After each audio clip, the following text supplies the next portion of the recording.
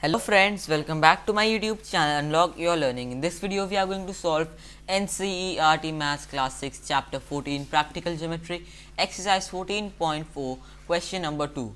This says, draw any line segment PQ, take any point R not on it. Through R, draw a perpendicular to PQ, use ruler and set square. Now you have to draw any line segment PQ suppose this is my line segment PQ.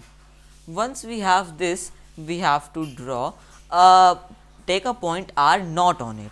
Suppose I take my point R here.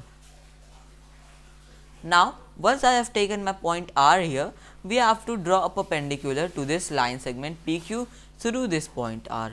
Through point R, for this you are going to require a set square and a ruler right? This is what you are going to require for this. So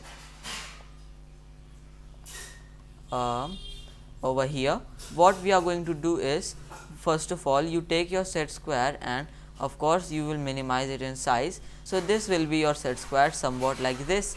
Now you keep it like this and um, keep it a little bit short right? Suppose this will be your set square. Now you keep it align it with point r here like this. And you take your ruler here.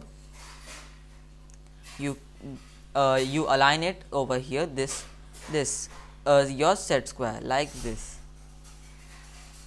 Right. Now you will uh, do one thing more here as well. Now you will take your set square up here.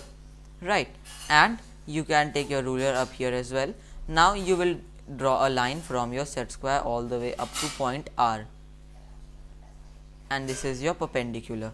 This you can even if you want to name you can name this as well. So suppose I name it as uh, uh, suppose I name it as QR sorry not QR suppose I name it as B. Now BR so you can see a perpendicular is made and this is the perpendicular line to our line segment PQ alright and friends this is all for today. If you are new to my YouTube channel do not forget to subscribe and hit that bell icon down below so that you get notified whenever I upload a new video. Also leave a like on this video. Till then stay home, stay safe, wear a mask, maintain social distancing and take good care of yourself. Bye bye.